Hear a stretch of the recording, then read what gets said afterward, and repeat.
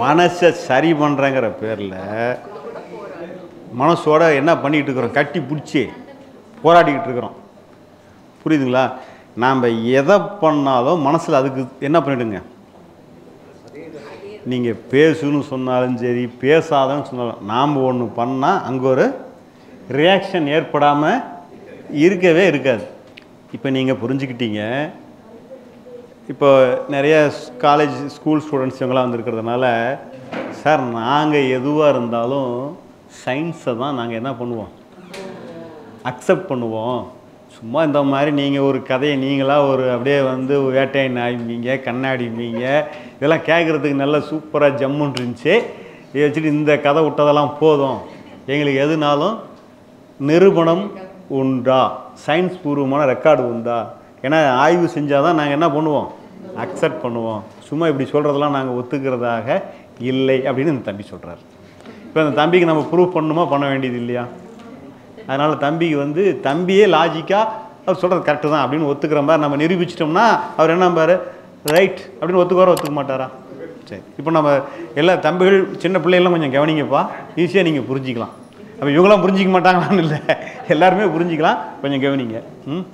நாம் வந்து இப்போ வந்து என்ன பண்ணுறோம் ஒரு ஆறு எக்ஸாம்பிள்ஸ் பார்க்க போகிறோம் எதுக்கு? எதை புரிஞ்சிக்கிறதுக்கு? மனசை புரிஞ்சிக்கிறதுக்கா? இந்த அறிவால் மனசை ஒன்றுமே பண்ண முடியாதுன்னு புரிஞ்சிக்கிறதுக்கு ஆறு உதாரணத்தை பார்க்கணும் உங்களுக்கு ஃபஸ்ட்டு ஒரு இது சொல்லி உடல் அக உரு புற உறுப்புகள் இயக்கத்தை சொன்னேன். அதில் ஒரு மாதிரி புரிஞ்சுக்கிட்டீங்கல்ல? எங்கே வேலை இருக்குது வேலை இல்லைன்னு. ரெண்டாவது வேட்டை நாய் கதை சொன்னோன்னா அது புரிஞ்சுதா?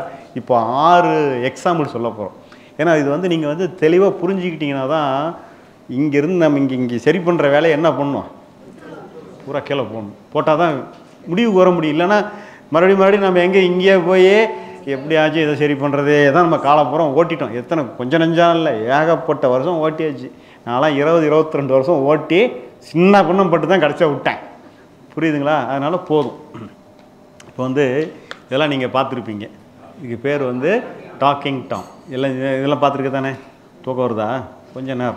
முடிச்சிடலாம் டோன்ட் வரி பேசு பேசு. பேசாதே. பேசாதே. பேசாதன்னு சொல்கிறேன்ல பேசாதேன்னு சொல்றேன்ல. என்ன பண்ணுது?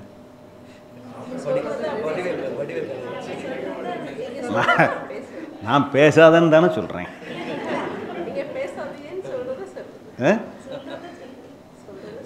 நான் இதுதான் மொத்தமாக பேசுன்னு சொன்னாலும் பேசுது. பேசாதன்னு சொன்னாலும் பேசுது. நீ பேசிக்கணும் பொம்மையே தூங்கிடுச்சு ஹலோ. சரி ரைட் ஓகே. இப்போ உங்களுக்கு புரியுதா? இப்போ நம்ம வந்து இது எதுக்கு அப்படின்னா சிரிக்கிறதுக்கு இல்லை. நாம் இதில் வந்து இப்படி இப்படித்தான் நம்ம வந்து என்ன பண்ணிகிட்ருக்குறோம் இருக்கிறோம்? மனசை சரி பண்ணுறேங்கிற பேரில் மனசோட என்ன பண்ணிக்கிட்டு இருக்கிறோம்? கட்டி பிடிச்சி போராடிக்கிட்டு இருக்கிறோம். புரியுதுங்களா? நாம் எதை பண்ணாலும் மனசில் அதுக்கு என்ன பண்ணிவிடுங்க நீங்கள் பேசுன்னு சொன்னாலும் சரி பேசாதன்னு சொன்னாலும் நாம் ஒன்று பண்ணால் அங்கே ஒரு ரியாக்ஷன் ஏற்படாமல் இருக்கவே இருக்காது. நான் எதுவுமே கூட பண்ணல. நான் பாட்டுக்கு இருக்கிறேன். வேற ஒருத்தர் வந்து டம்முன்னு ஒரு வெயிட்டை போட்டால் என்ன பண்ணும்? அதுக்கு ரியாக்ஷன் வரும்.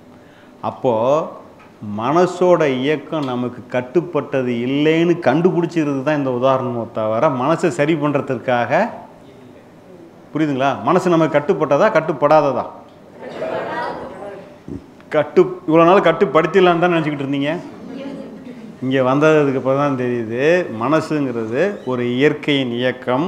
அது நமக்கு ஒருபோதும் கட்டுப்பட்டது கிடையாது அப்படிங்கிறத புரிஞ்சிக்கிறது தான் என்னங்க? புரிதலே. மனசு நம்ம கட்டுப்பட்டதா கட்டுப்படாததா? கட்டுப்படாது. அறிவு தான் நம்ம கதாநாயகன். மனசுங்கிறது நம்மளையே நம்மளை கடந்த ஒன்று. இயற்கை. புரியுதுங்களா? ஸ்ரீ பகவத்தையா அவர்களின் மூன்று நாள் ஞான முகாம் மே மாதத்தில் நடைபெற உள்ளது. நாள் பதினேழு ஐந்து ரெண்டாயிரத்தி இருபத்தி நாலு வெள்ளிக்கிழமை காலை எட்டு மணி முதல் பத்தொம்போது ஐந்து ரெண்டாயிரத்தி இருபத்தி நாலு ஞாயிற்றுக்கிழமை மதியம் மூன்று மணி வரை நடைபெறுகிறது. இந்த வகுப்பில் அகம் புறம் என்றால் என்ன? மனம் புத்தி என்றால் என்ன? ஆன்மீகம் கர்மா தியானம் ஞானம் முக்தி என ஒரு மனிதன் மகிழ்ச்சியாக வாழ தேவையான அனைத்து விஷயங்களும் சொல்லித்தரப்படும் நீங்கள் தெரிந்து கொள்ளலாம். இந்த வகுப்பில் கலந்து கொள்ள முன்பதிவு அவசியம். ஆன்லைனில் பதிவு செய்ய விரும்பினால் W W W dot Sri Bhagavad dot காமில் பதிவு செய்து கொள்ளுங்கள். ஆன்லைனில் தெரியாதவங்க தொலைபேசி எண்ணில் உங்களுடைய வருகையை பதிவு செய்து கொள்ளுங்கள். அதற்கான நம்பர் ஒன்பது ஒன்பது நான்கு இரண்டு இரண்டு ஒன்று ஒன்பது ஜீரோ ஆறு ஐந்து. இந்த நம்பருக்கு தொடர்பு கொண்டு உங்கள் வருகையை முன்பதிவு செய்து கொள்ளுங்கள்.